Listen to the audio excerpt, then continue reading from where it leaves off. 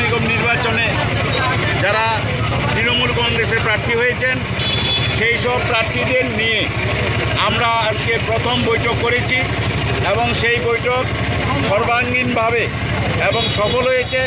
সমস্ত প্রার্থীরা অংশগ্রহণ করেছে এবং আমাদের নির্বাচনের কাজ আজকে থেকেই শুরু হয়েছে এবং সেখানে আমাদের একটা গাইডলাইন আমরা আলোচনা করেছি যাতে শান্তিপূর্ণভাবে গণতান্ত্রিক পথে নির্বাচন হয় এবং নির্বাচনে এই রাজ্যের মানুষ যে পরিবর্তন চাইছে, এই পরিবর্তনটাকে আমরা সঠিকভাবে যাতে এটাকে আমরা নিয়ে যেতে পারি সবার কাছে এবং মানুষের কাছে যাতে তৃণমূল কংগ্রেস তার গ্রহণযোগ্যতা যেটা অল্প সময়ের মধ্যে আমরা পেয়েছি, এই পুর পরিষদ নির্বাচনে এবং পৌর নিগম নির্বাচনে আমরা নিশ্চিত আমরা জয়লাভ করব।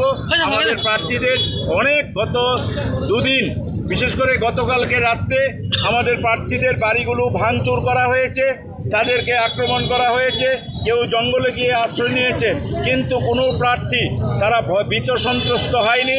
তারা একটাই বলেছে যতই মারবে তোমরা এই শাসক দল যতই মারবে ততই তৃণমূল বাড়বে। আমরা ভয় পাই না, আমরা তৃণমূল কংগ্রেসের সৈনিক। এই রাজ্যে তৃণমূল কংগ্রেস আগামী দিনে এগিয়ে যাবে। ঠিক আছে, শুরু করেন।